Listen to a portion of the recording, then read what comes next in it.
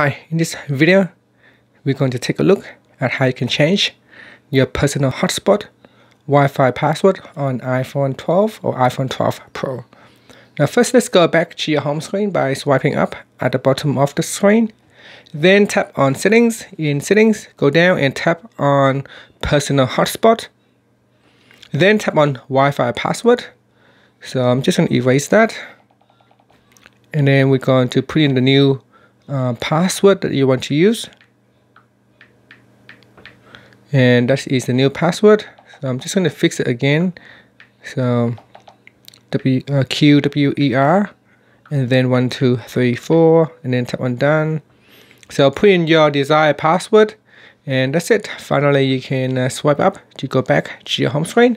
With this password you can share it to your friends or families so that they can connect to your Wi-Fi hotspot. Thank you for watching this video Please subscribe to my channel for more videos.